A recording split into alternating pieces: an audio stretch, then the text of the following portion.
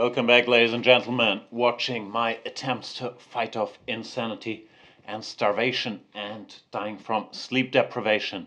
I've gotten some help. I'm proud to introduce our first and only sponsor, Food Vibes. They sent me food, and I hope that's gonna help. I'm not 100% sure. I have no idea what's in this box, and I have no idea how to open it. A lot of stuff in here. Ugh. Not gonna be able to do it. Sorry, box. What is this? Grass? I'm not planning to eat grass. Whom haven't I played yet? What's in this box? I can't eat anything complicated. Mangoes. I like mango shakes. When I'm in Thailand, I eat a lot of mangoes. Let's try one.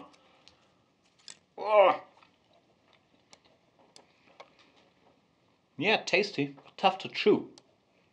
Mangoes are the kings of fruits. I thought apple was still on top. Not such a big apple guy.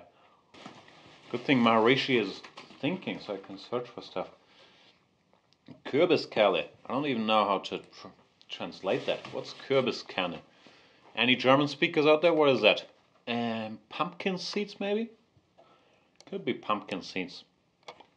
I don't. My food English is surprisingly bad.